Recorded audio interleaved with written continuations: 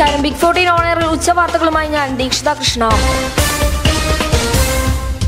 പ്രധാന വാർത്തകൾ. വെങ്കയ്യ നായിഡു ഉപരാഷ്ട്രപതിയായി സ്ഥാനമേറ്റു. രാജസ്ഥാനിൽ ഗാന്ധി ജയന്തിക്ക് അവധിയില്ല.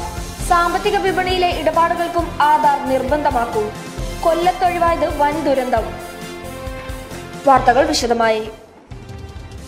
വെങ്കയ്യ നായിഡു ഉപരാഷ്ട്രപതിയായി സ്ഥാനമേറ്റു. രാഷ്ട്രപതി ഭവനിൽ നടന്ന ചടങ്ങിൽ രാഷ്ട്രപതി രാംനാഥ് കോവിന്ദാണ് അദ്ദേഹത്തിന് സത്യപ്രതിജ്ഞാ വാചകം ചൊല്ലിക്കൊടുത്തത്. രാജ്യസഭയുടെ ഇന്നത്തെ സമ്മേളനത്തിൽ തന്നെ വെങ്കയ്യ പങ്കെടുക്കും. പ്രധാനമന്ത്രി നരേന്ദ്രമോദി മുൻ ഉപരാഷ്ട്രപതി ഹമീദ് അൻസാരി കേന്ദ്രമന്ത്രിമാർ മുൻ പ്രധാനമന്ത്രി Manmohan Singh B J P ദേശീയ അധ്യക്ഷൻ അമിത് ഷാ രാഷ്ട്രീയ കക്ഷി നേതാക്കൾ ഉൾപ്പെടെയുള്ള വിശിഷ്ട വ്യക്തികൾ ചടങ്ങിൽ പങ്കെടുക്കും. ദക്ഷിണേന്ത്യയിലെ ബി ജെ പിയുടെ പ്രമുഖ നേതാവായി ദേശീയ തലത്തിൽ എത്തിയ വെങ്കയ്യ നായിഡു രണ്ടായിരത്തി രണ്ടിൽ ദേശീയ അധ്യക്ഷ പദവിയും വാജ്പേയി നരേന്ദ്രമോദി സർക്കാരുകളിൽ കേന്ദ്രമന്ത്രി സ്ഥാനവും വഹിച്ച ശേഷമാണ് രാജ്യത്തെ പരമോന്നത പദവിയിലെത്തുന്നത്. രാജസ്ഥാനിൽ ഗാന്ധി ജയന്തിക്ക് അവധിയില്ല. രാജസ്ഥാനിലെ സർവകലാശാലയിൽ ഗാന്ധി ജയന്തിക്ക് ഈ വർഷം അവധിയില്ല. ഗവർണറുടെ ഓഫീസ് ഇറക്കിയ അവധി കലണ്ടറിലാണ് ഗാന്ധി ജയന്തി പ്രവൃത്തി ദിവസമായി ഉൾപ്പെടുത്തിയിരിക്കുന്നത്. അതേസമയം മുഹറത്തിനും ദീപാവലിക്കുമാണ് ഒക്ടോബറിൽ അവധി നൽകിയിരിക്കുന്നതും. സംസ്ഥാന വിദ്യാഭ്യാസ വകുപ്പ് ഗാന്ധി ജയന്തിക്ക് അവധി നൽകാത്തതിലാണ് ഇത്തരമൊരു സാഹചര്യം വന്നതെന്ന് രാജ്ഭവൻ വക്താവ് പറഞ്ഞു.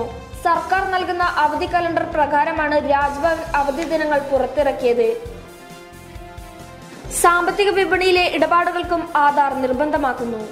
ഓഹരി മ്യൂച്വൽ ഫണ്ടുകൾ എന്നിവ വാങ്ങുന്നതിനും ആധാർ നിർബന്ധമാക്കും. ഇതുമായി സംബന്ധിച്ച് കേന്ദ്ര സർക്കാരും securities and exchange board of ഇന്ത്യയും ചർച്ച തുടങ്ങി. ഓഹരി വിപണിയിലൂടെയുള്ള നികുതി ചോർച്ച തടയാൻ പാൻ കാർഡ് പര്യാപ്തമല്ലെന്നാണ് കേന്ദ്ര സർക്കാരിന്റെ അഭിപ്രായം. ഒപ്പം വിപണി വഴി കള്ളപ്പണം ഒഴുകുന്നത് തടയുക എന്ന ലക്ഷ്യവും ഈ തീരുമാനത്തിന് പിന്നിലുണ്ട്. കൊല്ലത്തൊഴിവായത് വൻ ദുരന്തം. കൊല്ലത്ത് ഗ്യാസ് ലോറിയും പെട്രോൾ ടാങ്കറും കൂട്ടിയിടിച്ചുണ്ടായ അപകടത്തിൽ ഒരാൾ മരിച്ചു. കൊല്ലം ഓച്ചിറയിലാണ് സംഭവം.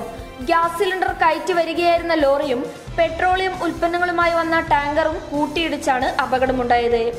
നിർത്തിയിട്ടിരുന്ന ഗ്യാസ് ടാങ്കറിലേക്ക് പെട്രോൾ ടാങ്കർ ഇടിച്ചു കയറുകയായിരുന്നു.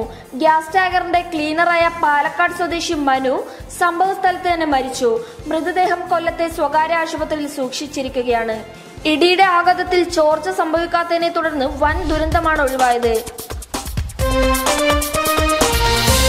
വാർത്തകൾ ഇവിടെ പൂർണമാകുന്നു. നമസ്കാരം.